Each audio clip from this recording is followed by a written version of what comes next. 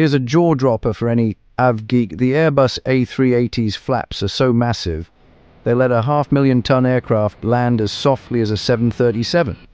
The A380's trailing edge flaps are some of the largest ever built for a passenger jet. When fully extended, they transform the wing into a low-speed lift machine, keeping a 500-ton super jumbo stable on final approach. These flaps boost the wing's surface area by almost 40%. That expansion allows a controlled approach speed of 140 to 150 miles per hour, which is nearly identical to a 737.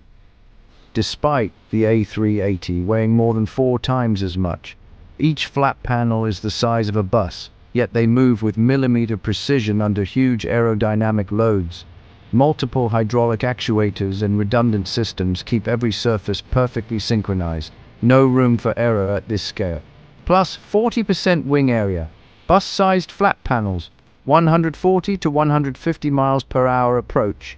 500 plus tons. Smooth touchdown.